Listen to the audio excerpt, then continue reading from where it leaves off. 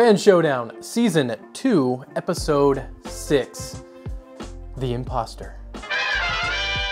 Thank you to Skillshare for sponsoring this video. Skillshare is an online learning community with thousands of inspiring classes for creative and curious people. Explore new skills, develop existing interests, or get lost in creativity. One class that I've been looking at is DIY product photography, style and shoot creative skills with Rachel and Daniel. As somebody that does product reviews on my YouTube channel from time to time, it's always good to know how to better take photos and videos of the products I'm talking about so they communicate better to my audience. If you're uncertain about what's next, creative challenges and productivity classes can be a great way to help you structure your time and set up achievement goals.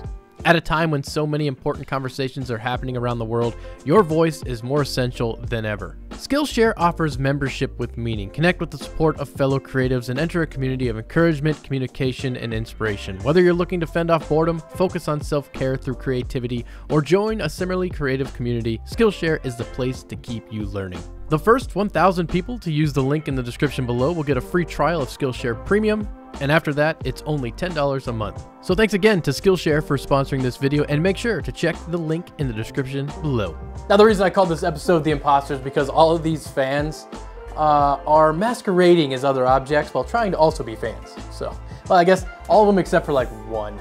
But I guess you could say that it was like an actual fan pretending to be a centrifugal fan. So, mm, regardless, let's start with that one. Let's start with the exception to the rule this week. And this fan is the Smooth Centrifugal by Nicholas. Nicholas didn't give me an origin story. Uh, he just said that after seeing the fan showdown, he just couldn't stop designing fans, and this was his latest iteration. So it appears that he's trying to go for some sort of two-stage fan here where you got like the top portion as a centrifugal fan and then the bottom is like an axial fan and he's trying to get them to like work in harmony to become some sort of hybrid. Uh, I don't know if it's gonna work, but I do like the thought experiment. But let's move on to the first imposter of this week and that would be the Patrick. It was created by Travis and the inspiration behind this design was the velocity stack used on some old Le Mans race cars. And from what he said, that there was actually a velocity stack made for Le Mans race cars that was called the Patrick. I couldn't find it on the old Google, but uh, I believe him. Now, the interesting thing is that he's taking something that's meant or designed to be stationary, uh, putting blades in the inside of it, and I'm gonna spin it all about. I don't know if it'll work, but again, thought experiment. I mean, it should work. It's just essentially, it's just like a normal fan, just stretched, like height-wise. But he did say that he, sh he showed his, uh, his model or his 3D design to one of his friends, and his friend's like, that looks kind of like a starfish uh, waving. So we're not off to a good start. now, if you couldn't guess what this fan was, don't worry. It only gets easier from here. You shouldn't have any issues figuring out what these next two fans are. Uh, pretty straightforward. I mean, take a look at this one, for example. It's called the Hoo Hoo, and it was designed by Josh. And if there's anybody out there that doesn't know what uh, the Hoo Hoo is trying to be, uh, I don't know what to say. Take a guess. Did you say, did you say bird? Because you might be right. Josh said the inspiration behind the hoo hoo was uh, a certain nocturnal bird's wing. Uh, the bird that I think he was referring to is the North Island brown kiwi, but uh, could also been an owl, I guess. I don't. What do you think? Now, Josh did a pretty good job of modeling a wing into a fan. I mean, even if you didn't have a clue of what he like, if, if he said nothing with his message, you can look at this fan and be like, "Oh, look, those are little uh, little bird wings." Now, Josh did say he's hoping that using the owl wing, he's, he's trying to get this fan to be quiet because we all know that owls are known for flying very quietly. So hopefully that'll translate into, into the fan world. But either way, I like it. Now this last one's, it's a bit, it's a bit abstract. Uh, I actually brought an analog for you guys to look at so we can kind of compare it, try to figure out what he was going for, but just take a look. Who out there knows what this is? This, this is what we're comparing it to. The resemblance is uh, uncanny. Put this away. Now I, I could just tell you what this fan's called, what the inspiration was behind it, uh, but I'm sure you already know what the inspiration was. And I think the designer did a much better job uh, than I can. So I'll just read you what he, what he sent me. First off, this was created by Eberhard, uh, and he said, Quote, May I present you the absolute marvel of German engineering, the Schauflugfleher, or shovel fan. The Schauflugfleher concentrates on the underlying purpose a fan truly has digging the air. What comes to mind when you think about digging? Right, a shovel. Combining the bleeding edge of gardening technology with the Teutonic pragmatism and efficiency of German fan design, the shovel fan will surely rise to the top of the fan showdown ladder and will most likely stay there. End quote. Uh-huh. Now, if we were solely judging on the merit of that description, first place, uh, hands down, there would be no question. Also, I do apologize to anybody out there who speaks German or is in German watching this because I'm sure my pronunciations were spot on uh, and there's nothing absolutely at all wrong with them.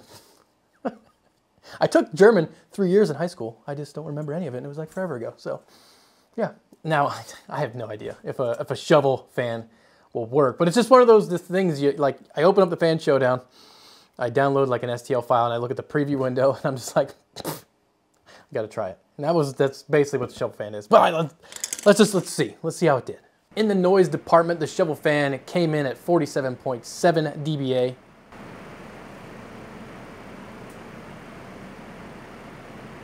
The Hoo Hoo came in at 49.3, answering the uh, age-old question of what's quieter, a shovel or an owl.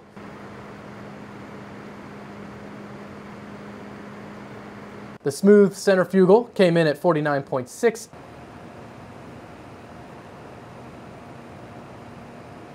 And the Patrick was a bit strange. It came in at 50.9, but a lot of the sound uh, is like a buffeting sound uh, this design created a lot of turbulent airflow around the intake and the sides. So keep that in mind, or keep that buffeting you heard in mind as we watch the uh, the smoke test, because it starts. You can kind of start to see what's uh, what's going on.